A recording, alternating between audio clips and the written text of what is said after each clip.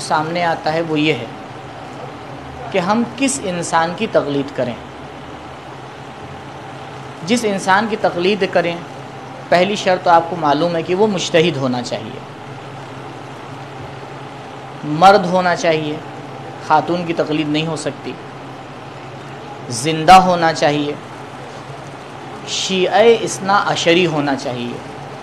یعنی ایسا شیعہ ہو جو بارہ اماموں کو مانتا ہو۔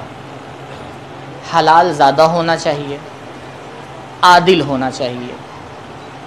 یہ چند شرطیں ایک مشتحد کے اندر ضروری ہیں۔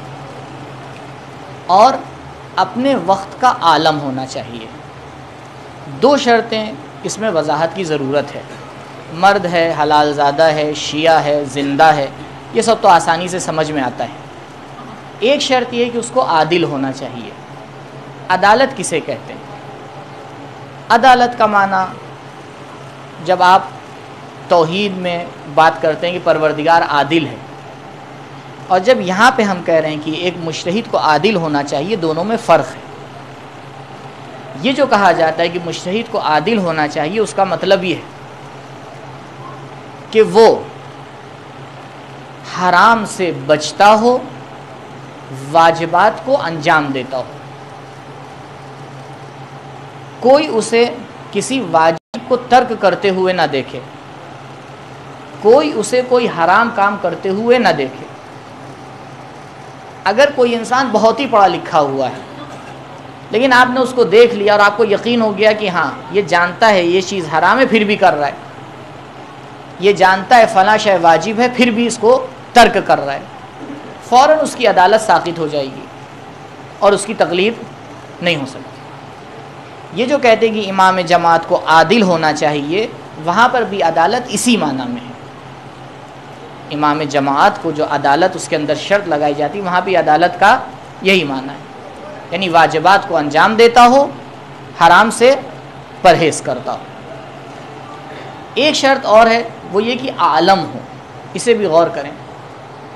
عالم کا مطلب یہ ہے کہ اگر ایک زمانے میں مثال کے طور پر تین یا چار مشتحد ہیں آپ کے سامنے اب ایک جوان بالغ ہوا۔ مجلس میں ماں باپ نے کلاس میں کہیں اس سے بتایا گیا کہ بھائی بیٹا تمہیں تقلید کرنا ہے۔ اب اس نے جا کے تلاش شروع کی، اس کے سامنے تین یا چار مشتحد اس کو نظر آئے۔ تو دو تین طریقے ہیں اس کے بعد۔ کیونکہ خود عام آدمیوں کا سمجھنا۔ عام آدمیوں کا سمجھنا کہ فلاں مشتحد عالم ہے یا نہیں، یہ عالم کا مطلب ہے بیسٹ اگر تین یا چار مشتحد موجود ہیں۔ تو ان تین یا چار میں کون سب سے بہتر ہے؟ اسے کہتے ہیں عالم۔ اب عالم کو سمجھنے کے لیے کسی سے مشورہ لیا جا سکتا ہے، کسی سے پوچھا جا سکتا ہے۔ اور یہ بھی ممکن ہے کہ انسان جب بالغ ہو رہا ہے، اب کیونکہ اس وقت اس کا سن کم ہے، کسی نے اس سے کہا کہ بھائی فلاں صاحب عالم ہیں۔ اس کو اس کے کہنے کے اوپر اعتماد ہو گیا، بھروسہ ہو گیا، اس نے تقلید شروع کر دی۔ لیکن ایک مدت کے بعد جب وہ بڑا ہوا، اس نے مطالعہ کیا، اس کو پتہ چلا نہیں، یہ شخص نہیں، کوئی اور عالم ہے۔ تو وہاں تقلید کو بدلنا واجب ہے۔ یعنی اس انسان کی آپ تقلید کریں گے کہ جو آپ کی نظر میں کیا ہو؟ عالم ہو۔